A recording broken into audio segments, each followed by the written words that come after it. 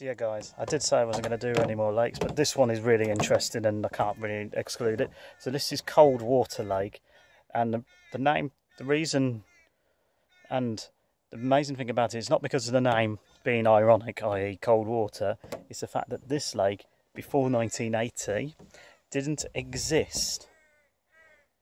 So this was actually made as part of the blast.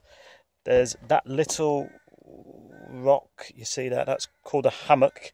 So that was part of the boulder blast with the, the blast from the thing from the volcano some around St Helens to bring all the stuff in and it's rocks and boulders and things like that stuck in there.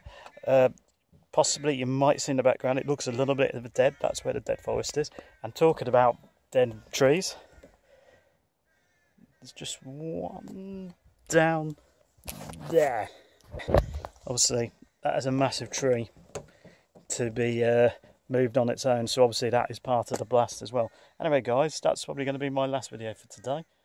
Uh, probably see you guys tomorrow when I go to Bowen.